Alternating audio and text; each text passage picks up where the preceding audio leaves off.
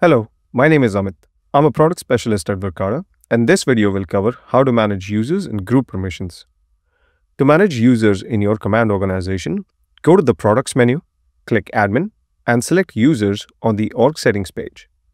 This page provides comprehensive user management capabilities, enabling you to add or delete users, export a list of all users, and manage site-level and organization-level permissions. Click the Add User button, enter the required details, and click Add to invite the user to command. You can also assign groups, grant org admin privileges, or set temporary access for limited access duration. To delete a user, select the checkbox and click Remove. Alternatively, open their profile, click on the three dots by their profile image, and choose Delete or Deactivate User. User permissions are defined by roles which control access to devices and settings across an organization and its sites and subsites. Permissions determine the task users can perform and the features they can access in command. Site-level permissions specify access to site cameras and are set through roles, while organization-level permissions govern user management, such as accessing or inviting users to the organization. Manage user roles and permissions from a user's profile page.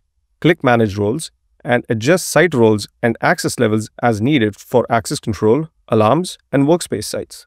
Access control roles operate slightly differently and are divided into system roles, user management roles, and site roles. To learn more about access control roles, see the video linked in the description. Next, let's talk about groups.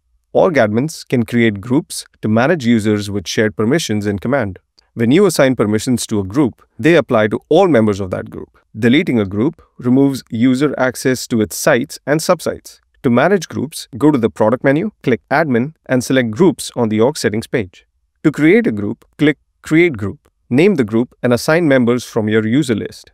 You can now manage their site roles directly from this page by selecting Site Roles. You can also assign access control roles to a group directly from its page. Click Edit next to the access control roles and assign system roles like Access System Admin or Manager or User Management roles like User Admin, User Manager, or Credentials Manager.